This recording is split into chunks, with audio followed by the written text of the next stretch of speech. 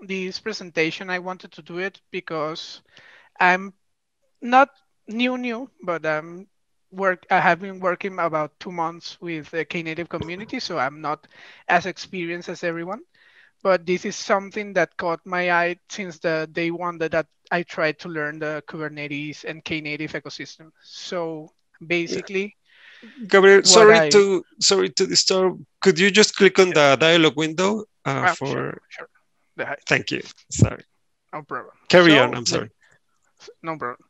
So let me tell you a little bit about me for those who don't know me that well. I'm Gabriel Freites. I'm a computer science engineer from Venezuela. I'm currently working at VMware and Bogota, and my my social media is Gabilloillo, at Gabilloillo in Twitter, Instagram, and I think Facebook too, but that, nobody uses Facebook now, so it doesn't matter. Basically, uh, what I'm going to tell you is some history that I, I learned about the dogs. Uh, Omer and Carlos were very helpful by telling me some of the origins of the dogs, why the changes, and what were the, what were the situation before the changes were done. Um, and I have a little, I don't know if surprise, but I'm going to do two demos. One is a basic, simple one of a of a first contribution for any new contributors that want to join or, or want to see this video or you want you folks want to share this video to anyone interested in doing his first contribution onto a, an open source project? You can do you can show this demo. And the second one is a community feature uh, done by paul that is a super cool installation script for knative and it's the kind of things that uh, makes a project grow and the community to be like uh, proud of the of some of the in, of the folks in there. So basically, that's the res, uh, the TOC, and I'm I'm going to start talking about this. So a little bit of history. The first page that, that I saw, at least, of the Knative documentation was uh, made in Hugo. It was a page that really the UI is UI spec wasn't that bad. It was a really uh, standard documentation page. It was, I, I, I, for me at least, it was pretty nice. But the problem were were light be, because when you went to search some, for some content, specific content, you got lost. There were too many links, too many things where to start, and you didn't know like, okay, I'm, I I'm new on this technology. I don't want like to read all the documentation, like to start doing things on my own. I want something to point me in the, in the right direction to start uh, like developing my career on Knative or and the, and the ecosystem or to start building something myself. And that was where the main problem relied. And in Hugo, that was pretty clear. Also, Hugo like made a little bit more difficult to make some changes uh, it didn't have uh, like a search bar, a lot of features that maybe you as a person who has been working on Knative for five months, a year, two years, is not that important to you. But where, when you are new to Knative and you want to start learning, you need that the entry point, that in this case is the page, to be good and to be pretty concrete on what to learn, what to teach the people that are seeing it. So basically, talking to Omer and to Carlos, they pretty much uh, told me the same thing. Uh, MK Docs, that was the other option that they were managing, and aside from Hugo, the it came with more out of the box uh, features and things that made easier the the life not only for the user, but also like the contributor to change to do some changes on the website to start contributing uh, without having to learn Go because Hugo the the thing that more that caught my eye the most about it is that claims to be the fastest fastest content site static content site generator uh, and it's based on Golang. That is cool, but not all the people that is going to work on the project had to know Golang and Python is like a more friendly entry point for the new contributors. So that being said, uh, these are like the main reasons to change from Hugo to MKDocs. And I'm going to show you like how it was before the MKDocs were implemented. Uh, we are going to go to the live page because this is currently in production. And then we're going to compare it to the new page on MKDocs that I think is a great step up, but you guys going to be the judges uh, during the demo. So basically this is just an image so you can see how is the basic template of the old Hugo website. This is done with Hugo. This is the Knative current on, uh, at this day on production site. And this is the new site, a little bit more catchy to the eye. And since this image, you can see that it already has a has a getting started guide, administration guide. It has like all the points that you want to search if you're a newbie on the on the Knative um, ecosystem, you want to be an administrator, or you you just want to develop an application using some of the of the already present tools. So this was possible because in the community there, one thing that I saw is that there is constant communication on the forums, on the Slack, on the mails, these these meetings, and the meets on the DUX uh, working group and other eventing, serving, all of that, and that it's key, I think, to to progress as a clear community, as a and to make your product grows with the community. That had a name, but in the later slides we will we will see how it goes. Uh, one thing that Omer told me is that they had like a roadmap, but it wasn't like a super clear roadmap. It was like, okay, we need to do this, but we don't know exactly how to do this in some points, but we need to start working. So the, the best way that they did it was to define, define clear issues, needs, and features. And they, uh, they transform that into milestones. And with that, the community could start like working, helping me included. We had like a clear path to follow. Even when I, I had like some weeks into the projects I and I didn't have like the whole context. So that was pretty helpful for the for the project per se. And of course, without the community, this will be would have been more slow, more painful, and we need the community to grow because this is the work of all, basically. How this is called? This is called community-led development. And I'm sure most of all, most of us here are like familiar with this concept, but bringing some little data. Um, I was a front end in my old job, and I saw like the React popularity growing up versus the Angular, Angular JS, and even the Vue starting to grow up as I I, I was drifting away from from it. And that was probably because the community was like searching for something new, something simpler, something that was more adaptive to their needs than the things that were, were before. And this graph showed that exactly. React has one of the biggest community in the current front-end frameworks repos with 170k stars and 30k repo forks, who has the lead currently with repo stars, but has a little less repo forks. And Angular and Angular JS are basically a thing of the past that are declining on the usage and all of the community focus attention. And that is why the community is so important in, in this kind of projects, frameworks, uh, because they let the where the product goes and how long the product lives.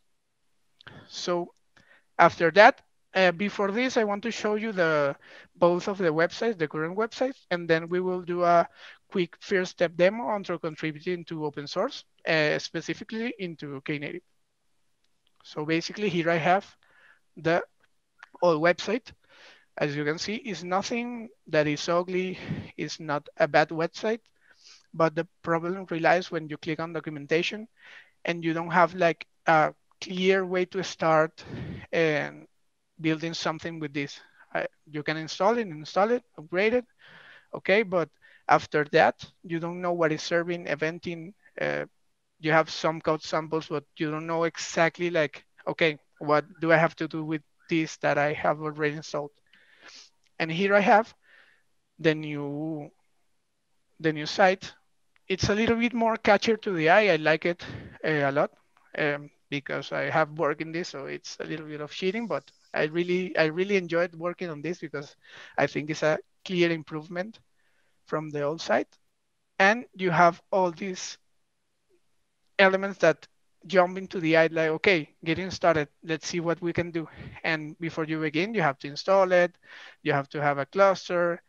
So it gives you more details since the first moment for you to know like what to do exactly in each part each part of the way into learning Knative.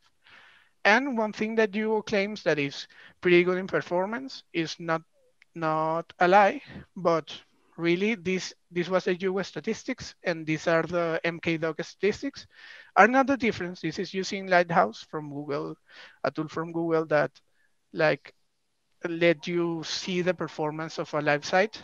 And really MKDocs were eh, on top on this on this test bot just because I think the site is not uh, finished completely. So they are pretty even into that performance specs. So now continuing with the with the demo, with the first step demo, I have run right now the I will show you how to create a fork from the repo. Here is the repo of the docs. These are the docs uh, from Knative. You search here Knative docs, and you can see like the repo where this website uh, lives lives in. Now you have to create a fork. You create a fork. I already create mine. Mine is called docs1 and then you create locally a branch. Right now I have my branch that is called my awesome feature and I, I have a typo here, as you can see. Basically, you can run um, locally the mkdocs tool that, that will be the static site and expose it on the local host. And there we can see live how are we changing the the web page and how it's going to see when we upload it onto the onto the domain. So basically here is our typo. We can change it or fix. You can, I know there are some flags that accelerate the, the hot reloading, but I don't have it set up. So that leave it up to you on the documentation. And then when this will reload, this will change to OFX. Already changed it. Now for doing the PR for the first contribution, you go to your fork repo or to a original one, git auto detects that you have a change that is not present on the on the current branch. And basically you click here to see if you can do the pull request and they show you all the changes that you have of course, before this, you have to go to the community. You have to start like getting to know the ecosystem, the people, and how to how to do it because there's a CLA setup that you you have to do it before this, but this is specific to this repo. But for any uh, open open source contribution, you can do this basic demo and you can start like contributing uh, right away using GitHub after this demo, now I have the the pleasure to to tell tell you people that Paul uh, did a, a, quick start demo uh, on the installing script. We currently install Knative uh, using the konk script that I think Carlos did. It they are they have no problem, but they have like a wget uh, output running directly into the to the terminal that can be unsafe. Basically, this plugin Quick Start uses the Go package management and it's pretty, pretty cool. It auto detects if you have already a kind cluster running and it, offers you to redo it, to delete it, and to reinstall the all of the tools to start building with Knative, or it created from scratch. So basically this, I leave you the, the link of the repo. Here is the repo if you want to contribute in any kind, because this is a work in progress. This is not finished. And when you clone the repo, you install the dependencies, you just have to do this kind of quick start kind, and it detects that I have already a Knative cluster. Uh, you call, you say yes, it deletes the cluster, we create the cluster, let me kill already the mkdocs website. And you guys will see that it, you folks will see that it start like installing all that you need to run Knative, that is eventing, serving, the ingress. I think it's now just with the contours uh, ingress for serving, but probably in the future this will change, and we have we will have more options to install with this plugin Quickstart. Now let's wait for it to install.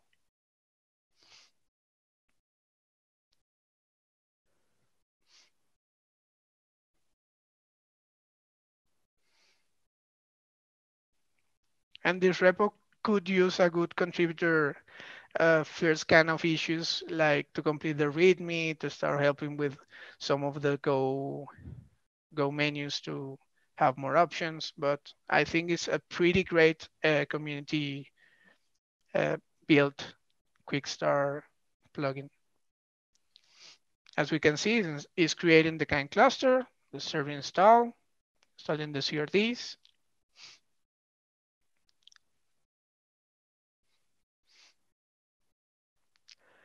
It installed the, all the Knative serving.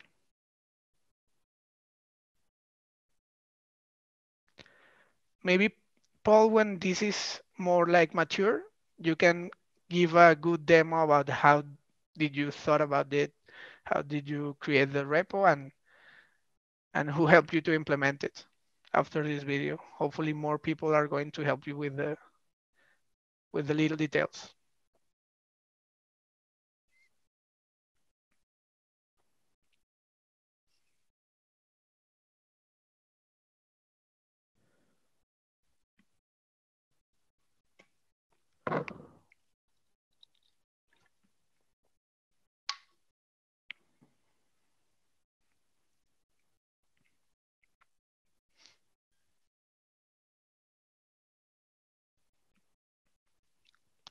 One thing that I didn't took in took on account is that WSL2 is like pretty slow to install some things on using a lot of file moving and all of that. So that's why taking a little bit longer than I thought.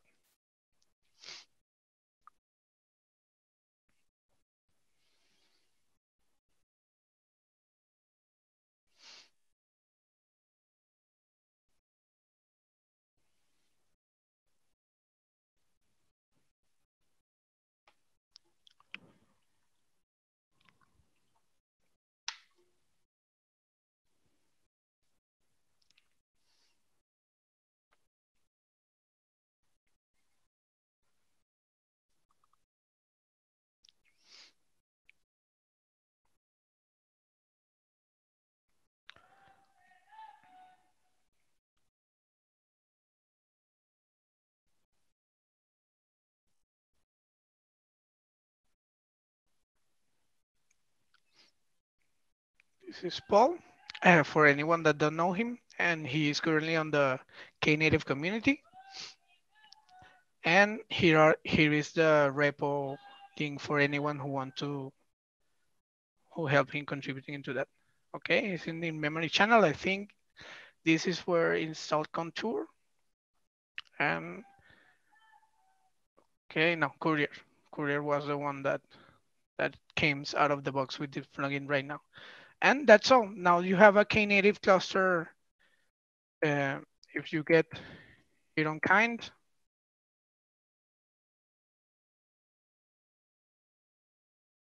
it's created a Knative cluster and it has all the tools needed for Knative to work on that cluster using the, the Kourier as serving ingress.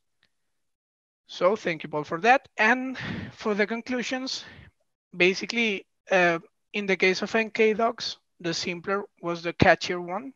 So the community has to be specialized on some some of the tooling, of course, but for some things like the docs page, the simpler is the better because more and more people are going to want to contribute to a to a project if they don't have to learn a lot of stuff to to do his first contribution.